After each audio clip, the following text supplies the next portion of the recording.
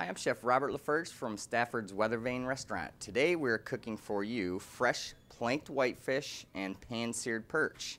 It's going to come with a Duchess potato and fresh vegetable. Um, first off, uh, want to give you a little explanation on what you're going to need as far as planks.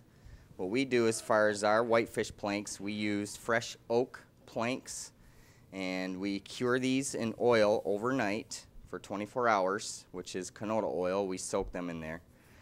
And then to cure the plank, we bake it in the oven at 180 degrees for four hours, which that slow process actually helps the plank uh, bake better and it won't get cracked and worn around the outside as fast as what a normal plank would do. What we have here is we have fresh John Cross local whitefish.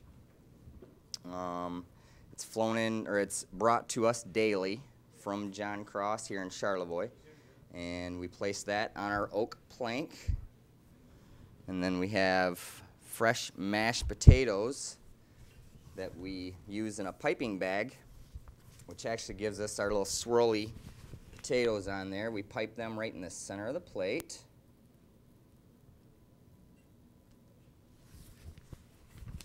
And then on the whitefish, we use fresh unsalted butter. Just brush a little bit of butter on there. Take a little fresh salt and pepper.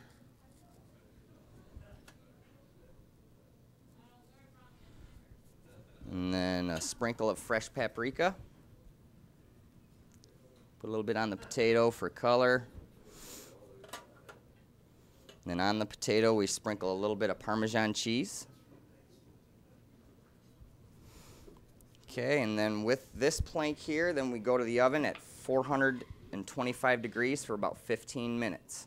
Here we go, fresh out of the oven, our oak planked whitefish, baked right on the oak plank. And now we're moving into our pan-seared perch, which you start with a hot pan a little bit of olive oil. Now for your perch, you need a double breading, which is you want to start with egg wash. You want to coat it real good in seasoned flour.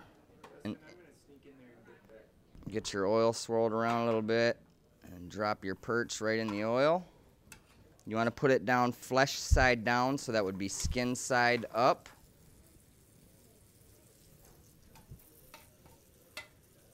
For this dish, we use three pieces of perch, about two ounces each.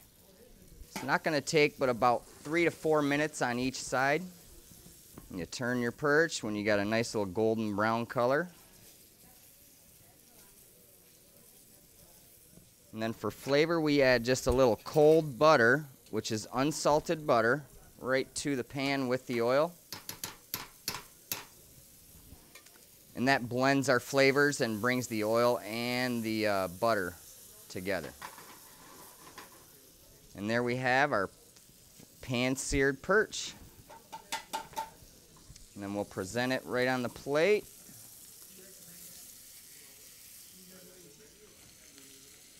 We kind of lean it up on our potatoes just a little bit.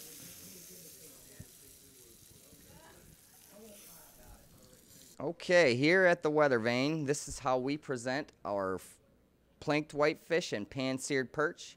We give a little side of fresh remoulade sauce. We have fresh locally grown asparagus and fresh spaghetti squash and a wedge of lemon.